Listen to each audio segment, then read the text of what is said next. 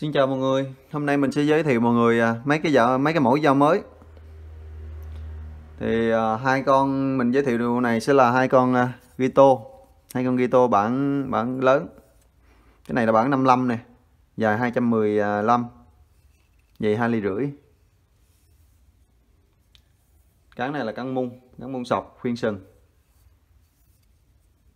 thì những cái cái dòng dao như thế này là là những cái form khá đặc biệt cho dành cho thói quen các bạn hay hay, hoặc là mấy những anh đầu bếp mà hay dùng cái form bản lớn á. Thích xưa giờ thích thái bản lớn bởi vì thích kê thói quen rồi, nên là những anh sẽ dùng dòng dao bản lớn như thế này hoặc là hơn.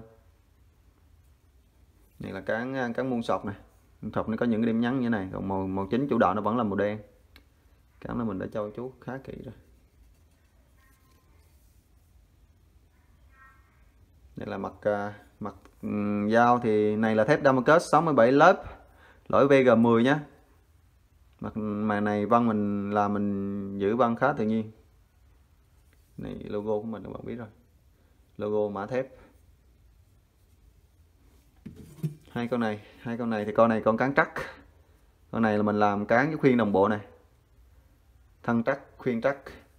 Cán bắt giác thì cái độ bền à, của cán bắt giác ấy nó không cái phụ thuộc nhiều vào cái khuyên đâu nhé cái khuyên mình làm cái kiểu mà nó có chốt cái ti bên trong cái lỗi bên trong á, thì nó nó phụ thuộc nhiều vào cái lỗi cái lỗi nó sẽ liền từ trên nó liền xuống tới dưới.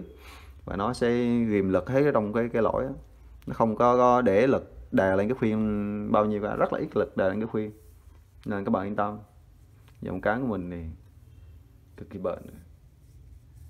Từ khi chặt thôi. Cán báo giáo là chỉ kỵ một cái duy nhất là chặt không được chặt, mọi hình thức. Nó dài cái thon á, khi vẫn chặt cái cái lực cái lực nó nằm trên này quá nhiều này là nó sẽ bể. Không được chặt nhé cá mất giác là làm gì làm, tuyệt đối không được chặt.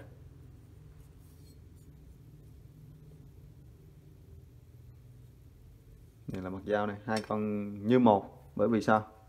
Cắt cắt chung bóng vẽ mà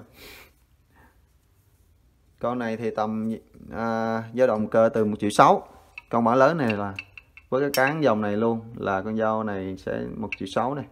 Con này sẽ sẽ sẽ à, giá mềm hơn 50 ngàn bởi vì cái khuyên gỗ này. Con này sẽ là 1 triệu con này sẽ 1 triệu rưỡi 50 này. Bởi là nó là cái khuyên gỗ. Chắc cái dòng khuyên gỗ thì nó sẽ sẽ nhẹ lại 50 ngàn. Còn cái khuyên này là khuyên sừng. Nó là 1 triệu 6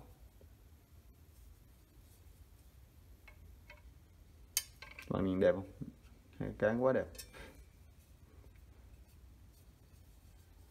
Rồi, cảm ơn mọi người thì à, đã theo dõi nhé. Hẹn mọi người những à, video sau. Bye bye.